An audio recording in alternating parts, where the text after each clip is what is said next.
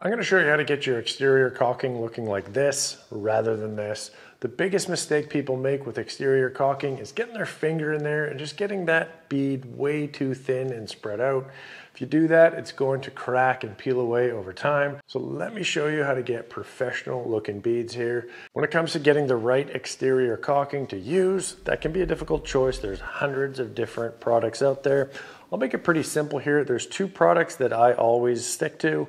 That is the NP1 Master Seal Polyurethane Sealant and Big Stretch, which is a latex water base. This is much easier to work with, water cleanup. This is mineral spirits and rubbing alcohol. This is a lot more durable and will last a lot longer than this. If you need an easy product to work with, this is a good product. I recommend it over Dynaflex 230, which is very similar. This is better for inside, this is better for outside. This is more stretchy and flexible. So if I have to, I will use this. Most of the time I use the NP1.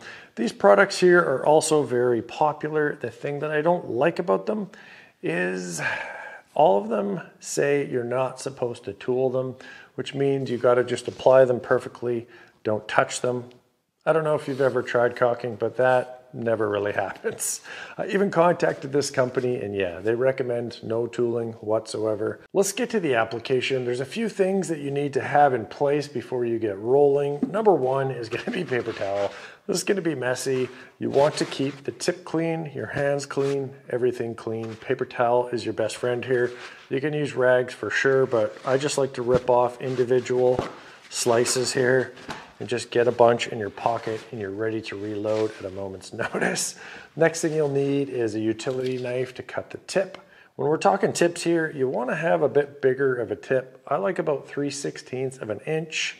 That's gonna give you a good size bead. To cut that, I'll just hold the gun at about 15 degrees and then cut straight down.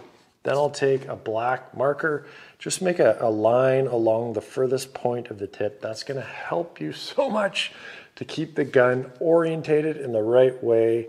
Whatever direction you're heading, just point that line away from you.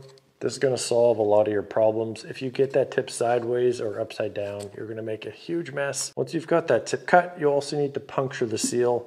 Now, most guns do come with these little um, puncture sticks on there. Jab that in there. Make sure you jab it in enough times that you're really gonna break that foil apart. Now, in terms of a caulking gun, an exterior gun is going to be a lot nicer with NP1 Master Seal. If you're using the big stretch, any gun will work because this stuff does not have a lot of viscosity and it's easy to squeeze out. This stuff here is pretty thick. The difference between an interior gun and an exterior gun is just the thrust ratio. This is 18 to 1, 10 to 1. What that means is you're not going to squeeze out as much material with this, but it's going to be a lot easier on the old carpal tunnel forearm here. So this is a beautiful gun. I'll link this one in the description. And then you also need a tooling agent. The six inch jumbo popsicle sticks is the best one that you can do. You can make your own out of wood, of course, but these, you can buy these off Amazon as well, or any craft store is gonna sell these things. The thing here, it has the perfect round profile. It's wide enough that you're not gonna get a lot of squeeze out the side. Then I also like to cut a nice 90 degree on one of the ends here. That is gonna be the perfect tool for any kind of side spillage cleanup. So let's get to the application here. You want to hold your gun approximately at the angle that you cut. If you're going to err, get it a little more on the nose, a little kind of more 90 degrees. If you hold the thing too um, on too much of an angle, it's not going to stick the caulking to the materials here.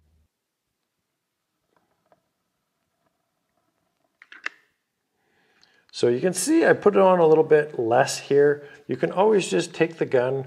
The nice thing here with the dripless gun is it keeps it fairly clean. If you get a little bit of uh, buildup there, just wipe it off. Go over the thin spot. You want to have enough material on for the tooling.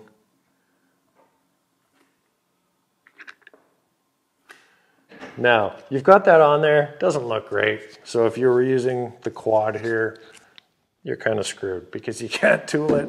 All right, that was smooth. So this dry tooling technique is also going to work perfectly well for the big stretch. This is kind of the secret key here, is when you're just getting rolling to find out kind of the best angle to hold this thing at, pull it toward yourself and then you're gonna be able to see how much material you're picking up. You want to find that sweet spot where you're getting kind of the perfect pickup. And that's gonna be just so it's barely picking up any material at all, yet still getting a nice profile on both the edges. It's a little bit of trial and error here, and it depends on how much material you've laid down in the first place. The nice thing about this NP1 is you can go over it three, four, five times and it's not gonna skin up. If you're gonna paint this stuff, you do have to let it sit for at least one day because it does take quite a while to set up. So let me demonstrate the tooling process here.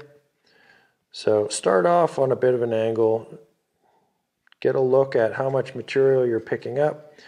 If you're picking up too much, tip the angle down a bit. If you're not picking up any, get a little flatter and just ride it right along. You can see about that's about how much material I have. I'll clean it off in the paper towel. And if we're looking at the bead, it's looking actually really nice all the way along. I did end up getting a little too heavy on the material, so I will need to just clean that off with the straight edge and just ride that along here. That is the perfect bead of caulking. If you're gonna be doing this exterior caulking job and you have some old existing caulking that is cracked, it's an absolute mess. You have to remove it. If you want to know the easiest way to get that job done, check out this video right over here. Uh, jumbo popsicle. I don't even know what I'm talking about anymore. just going on and on and on. That's just gonna keep you help. That's just gonna what the what?